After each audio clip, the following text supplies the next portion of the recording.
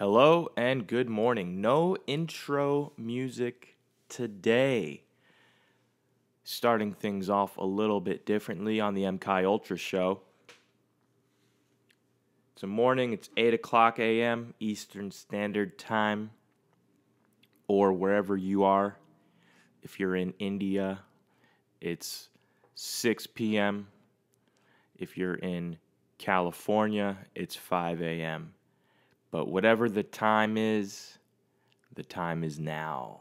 So be here now, now, now, now, now, now. No, uh, getting into a couple of things here, just trying out this morning pod energy flow. Quick sports updates for any people who are into sports but don't feel like spending money on cable. Where you at? Telling you what, man, COVID's down, but inflation's on the rise. You know, and uh, me and my buddy were actually talking about it. Not only have things got more expensive, but the actual quantity has gotten smaller. Like my box of cereal is smaller. He was saying that his roommate got a frozen pizza that he's always been getting, and it was smaller by the amount of calories. So they're fucking us, dude. They're they're jacking up the prices and lowering the uh, quantity, and that's that's what's going on with uh, with our economy right now. Stock market has hit a all-time low since uh, 2020. Uh, inflation's at a record high. It's like eight something percent. And uh, yeah, bananas are $47. So, but plowing along, talking about sports, we had the UFC uh, 279 on September uh, 10th. That was Nate Diaz and Tony Ferguson. Tony was the favorite for sure. Nate Diaz, though, he's dope as fuck. He's like, if I could hang out with any fighter in real life, it'd be Nate Diaz. I would just party with Nate and his, uh, where's he from in California? Uh, like the Sons of Anarchy area.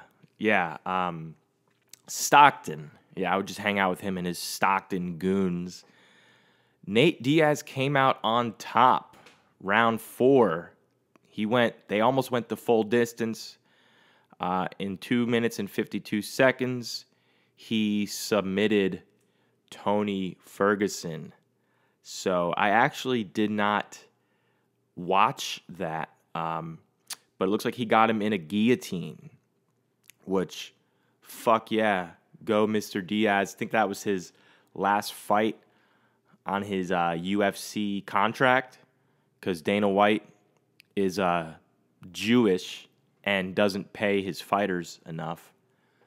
That's one thing that I can get down with um, believing is uh, the fighters definitely do deserve more money and they I don't even think they get health care. You're getting kicked in the head for a living. So, um, also the NFL.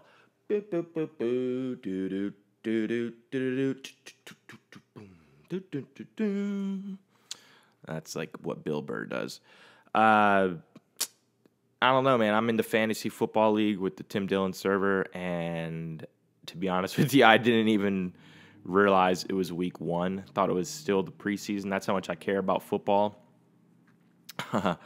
Sunday, September 11th, we had a lot of games. Uh, let's see, Thursday, September 8th was the opening game. That was the Bills and the Rams. Bills fucking destroyed the Rams. Uh, any of these teams I care about?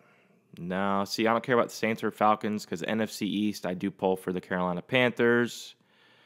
Dolphins beat the Patriots. Wow, that's a shocker. Uh, Lions lost. Bengals lost.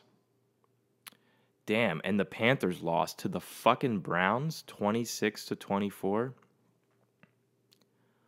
Wow. Who do they have? Oh yeah, they got Baker Mayfield. Okay. Um damn, Panthers lost. Who else? Uh Giants won. Okay, New York Giants. Shout out Giants. The uh, the Vikings beat the Packers. Wow. The Vikings slaughtered the Packers 23 to 7. Aaron Rodgers is probably my favorite quarterback in the league right now. It's because I like him, like what he stands for. I also like uh, Joe Burrow. He's just got swag. That kid's just dripping in swagger juice. You know, when Joe Burrow was born, he drove his mom home from the hospital. You know? Joe Burrow is so athletic that he can dribble a bowling ball. So that's pretty sick. Uh, Chargers, Raiders, the fucking California teams now, or well, the Raiders, what? Las Vegas. Is it that Las? Yeah, Las Vegas Raiders, L.A. Chargers. Can't keep up with these teams moving so much, man. Um, because it's the San Diego Chargers and the Oakland Raiders to me, man. You know, but the Chargers beat the Raiders. The Buccaneers whooped the Cowboys. Damn. How about them Buccaneers? Who else? Oh, well, they got fucking Brady, kid. They got the GOAT, of course. Uh, Seattle beat Denver. And uh, cool. Week one football over. Chiefs, oof, the Chiefs fucked up the Cardinals 44 to 21. Patrick Mahomes.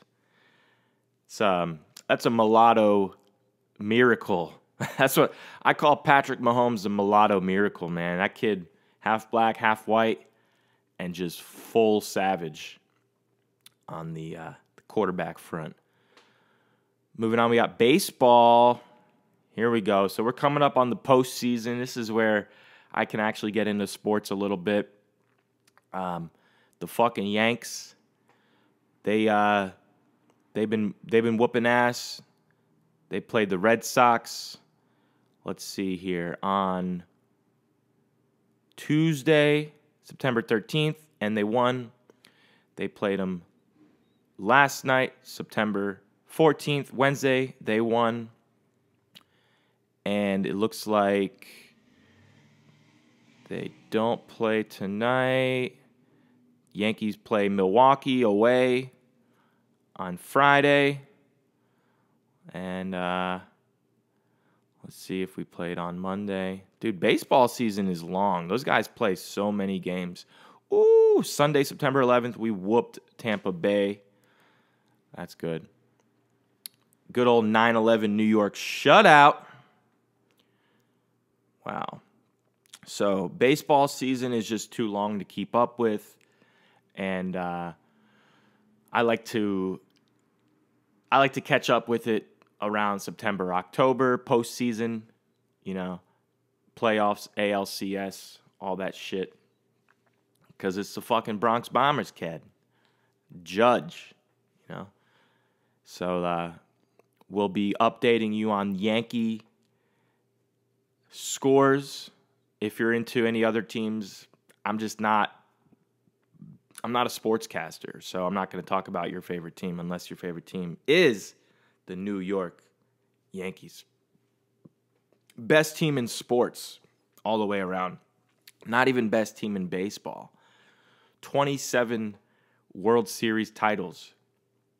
Tell me any other team in any other sport in any other country that has that many titles most famous sports team by far. You know, I mean, you go to fucking China, they're wearing Yankee gear. You know, go Yankee. They don't even know what that is, you know. That was my attempt at a Chinese accent. Failed miserably. Good, man. Uh, drinking my coffee this morning. Take a sip of this real quick. Cool mug. says one day at a time. One day at a time. So that's what I got to remind myself every morning. Wake up when my feet hit the ground. Try to take a couple deep breaths before I get out of bed. That will be the first step for preventing the thoughts thought overload. Uh, you know, second step, drink some water. You know, because definitely after sleeping for eight hours, your your body is going to be dehydrated, and you have basically fasted for eight hours. All right. So drink a bunch of liquids, bunch of fluids, take a piss, get your coffee, stretch a little bit, move your body around, um, but also do a little bit of breathing and meditating. Maybe find a daily reading that you like. Not you, that I like. This is what I do. I'm not telling anybody else what to do. Uh, but if you're looking for suggestions, I guess you can listen to that. A um, lot of different spiritual texts that I like to read in the mornings, man. I used to read the uh, Tao Te Ching. They had a daily reading. Uh, right now, I'm reading the Daily Stoic. So that's like your Stoic philosophers, Marcus Aurelius, um, and um, you know those guys, um, Epictetus, and uh, who else are the big guys' names there? Yeah, the Stoic philosopher Seneca. Yeah, whatever. Those those are good. Those are good readings. Um, so I, I do read that. I also have the Jesus uh, daily on my phone. Got the uh, NA just for today. So it's fun. It's fun to keep it exciting. You don't want to get too Jesused out. You don't want to get too dowed out, right? You don't want to get too stoiced out. So it's good to switch it up a bit. You know, some months I'll be on my Jesus shit. Next months I'll be on my Buddha shit or my Tao or Hindu. You know, it just, it varies. It varies. So, got a lot of things coming up here in the next month and to follow. We have a big insurance season October 15th through December the 7th, which means I will be working on the phones every day for 53 days, except for Thanksgiving, 8 to 12 hour shifts, because that is the annual enrollment period for Medicare. Ugh. But that's also where I make most of my money, and then I get a whole month off of paid time. Last year I went to Florida, spent some time in the Gulf Coast, Marco Island, um, and uh, what's that fucking place, man? I had a blast. I went down to Florida, and uh, yeah, I just I just mobbed around the Gulf Coast, man. I went to Marco Island. I went to uh, Naples, Fort Myers, nice area. You know, I, I did want to take time to go out of the country, but we did have something called coronavirus. If you forgot, because they're trying to make us forget about it. I'll never forget what they did. I'll never forget what they did to us this last two years. It's like 9 11. Never forget. Well, this year's 9 11 was the least 9 11 I've ever seen. Like, there was no fucking. It was just the least 9 11. It was the most woke year in our country. And uh, don't believe me? Look up Calvin Klein ads from 1992 and then look up Calvin Klein ads from 2022. In that 30 year time span, you will be shocked.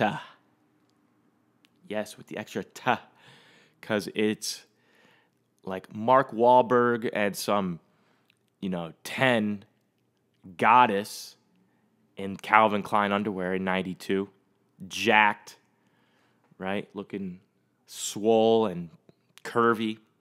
And then in 2022, just you'll have to look for yourself. You'll have to see for yourself. So, just checking in. How's your how's your week going? Hope you're having a good month. Hope you're enjoying your life. Hope you're giving some time for yourself and doing things you like to do. I know work can get in the way of things, but it's always good to find time for yourself. So, by that, I mean hobbies, interests, goals, family, relationships, friends, creative outlets. Last night I did stand up. I'm not a comedian, but I did it anyways. That was my second time ever. Just going up in the open mic comedy place, free show. And I just uh, you know, I just I just said some shit like I do here and it was fun. It was something new to try.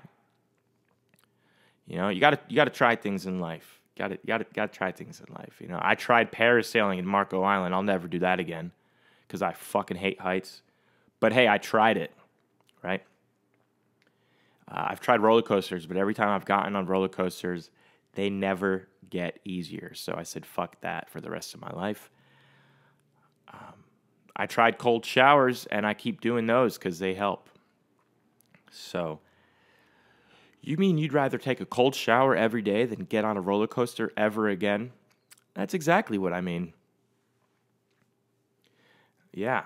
Um, tried uh, heroin. Don't recommend trying that You know, everything in moderation. Even heroin? Absolutely.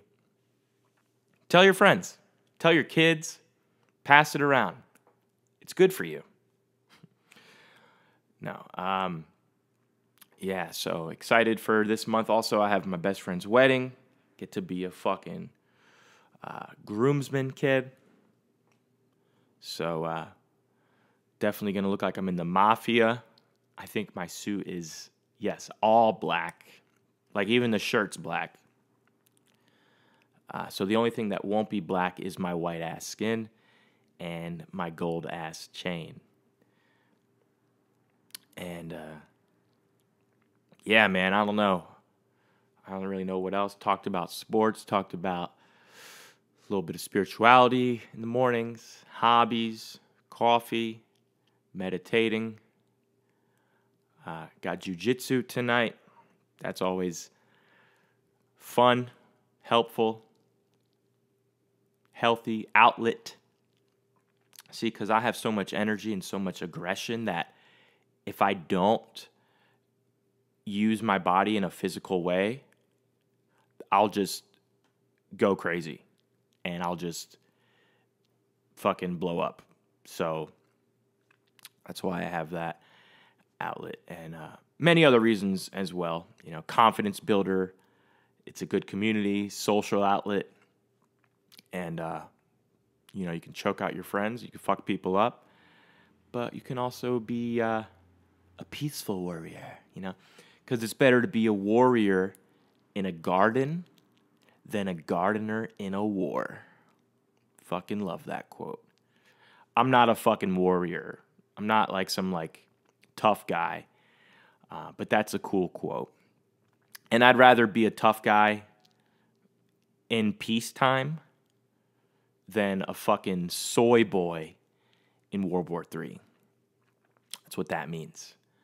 All right, so that's it. I gotta fucking sell some Medicare, or better, better yet, I gotta go find some people to rip off. Let's be honest, that's what sales is one in every 30 calls, I'm probably helping somebody out, but the other 29, I have to, uh, you know, ask for forgiveness from from my father above because uh, I'm not helping a lot of people. The company I work for, when they hired me, you're going to help so many people, you're going to change so many lives. I don't think so, dude.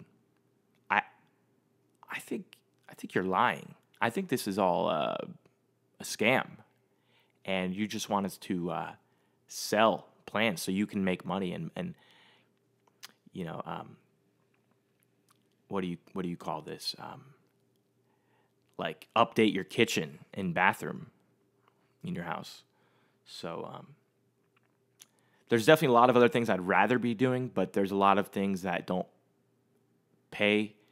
Um, for you know, uh, at least compared to what I used to do, like this job is more lucrative, so I'm going to do it for the time being.